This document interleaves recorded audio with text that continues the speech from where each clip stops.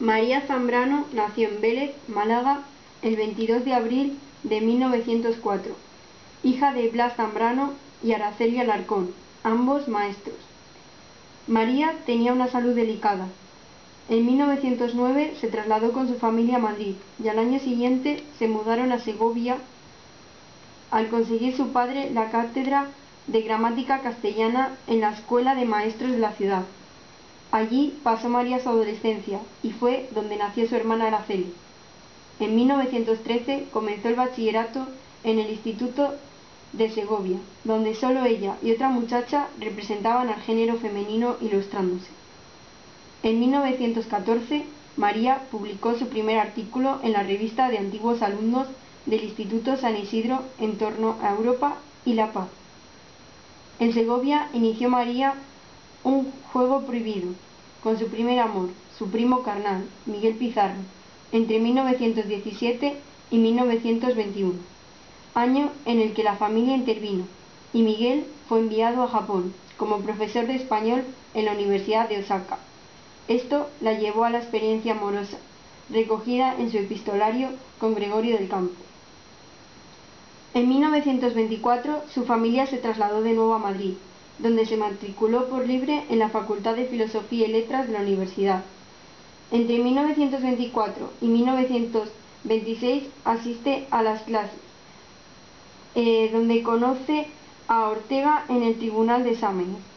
En 1927 es invitada a la tertulia de la revista de Occidente, círculo en el que a pesar de su juventud asumiría un papel de mediadora entre Ortega y algunos escritores. A partir de 1926 comenzó su doctorado e ingresó en la Federación Universitaria Escolar, donde comienza a colaborar en la selección Aire Libre del periódico madrileño El Liberal. A partir de 1928 comenzó su doctorado e ingresó en la Federación Universitaria Escolar.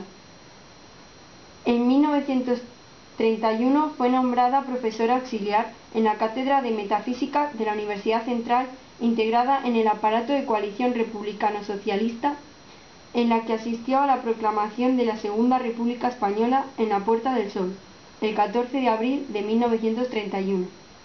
No aceptó, sin embargo, la oferta de una candidatura a las Cortes como diputada por el PSOE. El 7 de marzo de 1932, la cercanía profesional e intensa colaboración de María con José Ortega y Gasset la llevó a cometer el que muy pronto descubriría como peor error político de su vida, la firma del manifiesto y creación del Frente Español, con Ortega moviendo los hilos en la sombra. Aquella plataforma de un partido nacional mostró muy pronto su perfil fascista. Zambrano, haciendo uso de su indiscutida autoridad en el colectivo y como tenía el poder para ello, disolvió el incipiente movimiento. No pudo evitar, sin embargo, que los estatutos de aquella empresa Otergaria y las siglas FE fuesen usadas por Falange Española. El 18 de julio de 1936, María Zambrano se sumó al manifiesto fundamental de la Alianza de Intelectuales para la Defensa de la Cultura, colaborando en su redacción y marcando el compromiso de la libertad del intelectual, con el pueblo puesto en pie, por una razón armada. Como su propio padre y como su admirado y admirador Antonio Machado, la Zambrano, que nunca escatimó lucidez y valentía, se alineó definitivamente en la realidad, un gesto humano y personal que muy pronto aparecerá en su obra bajo el epígrafe de Razón Poética. El 14 de septiembre de 1936 contrajo matrimonio con el historiador Alfonso Rodríguez Aldave, recién nombrado secretario de la Embajada española en Chile, española en Chile pues hacia el que viajaron en el mes de octubre. Ese, en ese viaje hicieron escala en La Habana, donde María pronunció una conferencia sobre Ortega y Gasset y conoció al que será quizás su mejor amigo, José Lezama Lima. Ocho meses después, en plena guerra civil española, regresan a España, el mismo día que cae Bilbao y comienza la disputa intelectual española. Su marido se incorporó al ejército y ella colaboró en la defensa de la República desde el Consejo de Redacción de Hora de España. Participó en el segundo Congreso Internacional de Escritores para la Defensa de la Cultura. Fue nombrada consejera de propaganda y consejera nacional de la infancia evacuada y participó en la reapertura y gestión de la Casa de la Cultura de Valencia. Al inicio de 1938 se trasladó con su familia a Barcelona, en cuya universidad llegaría a impartir un curso. Ese año, el 29 de octubre, murió su padre, al que Antonio Machado dedicaría una esquela de despedida en el número 23 de la revista Hora de España. El 23 de diciembre, 25 divisiones del Ejército Nacional abordaron la ofensiva de Cataluña. El 25 de enero capitula Barcelona y lo que queda de España republicana se encamina hacia el exilio. El 28 de enero de 1939, María cruzó la frontera francesa en compañía de su madre, su hermana Araceli, el marido de esta y otros familiares. En Francia, María se reencuentra con su marido y tras una breve estancia en París parten para México invitados por la Casa de España, recalando antes en Nueva York y La Habana.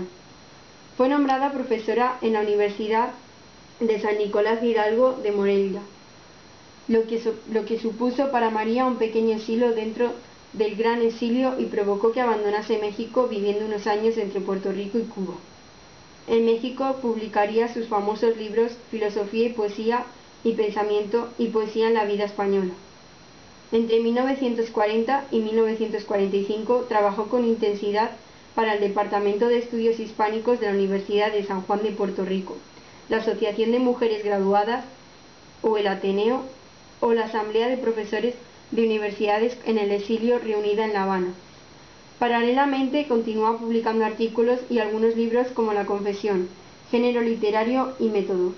La Segunda Guerra Mundial le impide reunirse con su madre, enferma, y su hermana Araceli, viuda y en el umbral de la locura, que sobreviven en París ocupado por las nazis. Cuando María llega a París, su madre ya está enferma, y su hermana, de la que no vuelve a separarse nunca. Así, en 1942, las hermanas Zambrano se instalaron en un apartamento en la Rue de la Université, hogar eventual al que en marzo de aquel año se incorporó el marido de María. Las hermanas Zambrano permitieron en París hasta marzo de 1953, fecha en la que nuevo se desplazaron a La Habana.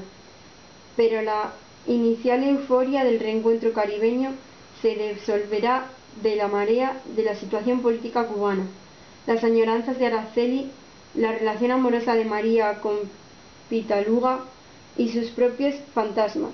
En junio de 1953, un barco las devolvió a Roma.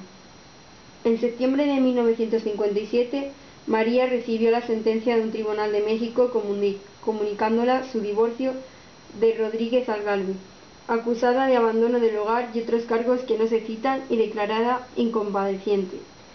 Otro capítulo gozoso transcurriente en el verano y el otoño de 1958, con largas temporadas en Florencia, donde el pintor Ramón Gallá oficia como su amante. En abril de 1962, Araceli viajó a México para intentar pactar con Rodríguez Albalgue una pensión para María con resultado más que negativo. Otro revés fue la orden de expulsión de la ciudad de Roma, firmada por un, senador de pasado fascista en septiembre de 1963. El motivo, los gatos. Por mediación de Elena Crocé llegaron a intervenir los ministros de Justicia y del Interior, atazando el proceso. El 14 de septiembre de 1964, tras una nueva denuncia de su posterior inspección sanitario-cívica, la Zambrano y trece gatos abandonaron Roma camino de Francia con un aviso a la policía gala de que se trataban de personas peligrosas. La vieja casa de la Pies será su residencia en Jura, Francia, en la que vivieron hasta 1977. Desmejorada de salud, que finalmente murió el 20 de, de febrero de 1972. La muerte de su hermana la hizo abandonar su casa del bosque a la que no volvería hasta dos años después. Estancia en Roma, viajes turísticos por Grecia, con toda la compañía y la generosidad de sus mecenas, y su segunda esposa. En 1927 volvió a la PIS, donde la asistente y acompañan su primo Mariano y Rafael Tomero, sus tres perros y algún gato superviviente. Pero el deterioro de su salud física es progresivo. En 1978 se trasladó a Ferney-Voltaire, donde, donde permanecería dos años. En, 1800, en 1981 se mudó a Ginebra y la colonia asturiana, asturiana en esa ciudad Suiza la nombra hija adoptiva del Principado de Asturias, el primero de una larga y tardía lista de reconocimientos. Parecía que a todo el mundo le iba entrando una prisa incontenible para, por agasajarla. En, 1800, en 1981 fue recompensada con el Premio Príncipe de Asturias de Comunicación y Humanidades, en su primera edición. A su vez, el Ayuntamiento de Vélez Málaga, su ciudad natal, la nombró hija predilecta. Al año siguiente, la Junta de Gobierno de la Universidad de Málaga acordó su nombramiento como doctora honoris causa. Tras su recaída en su salud, los médicos la, la declararon desahuciada. La anciana, aún lúcida pensadora, se recuperó. María Zambrano regresó por fin a España tras casi medio siglo de exilio. Se instaló en Madrid, la ciudad de la cual ya no saldría. En esta última etapa, la intelectual fue, sin embargo, Incansable. Continuaron también los reconocimientos oficiales. Hija predilecta de Andalucía. Se constituye en Vélez Málaga la fundación que lleva su nombre. Finalmente se le concedió el premio Cervantes. Murió en Madrid el 6 de febrero de 1991. Aunque años después siguen llegando sus reconocimientos como título póstumo, muchos de ellos, reivindicándose reivindicándose. Hija predilecta de la, de la provincia de Málaga, en 2002. En el 2006, el Ministerio de Fomento bautizó con su nombre la Estación Central de Ferrocarril de Málaga.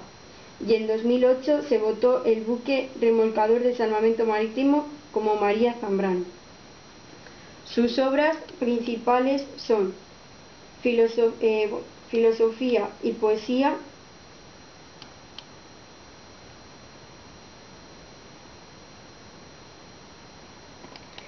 La tumba de Antagonia,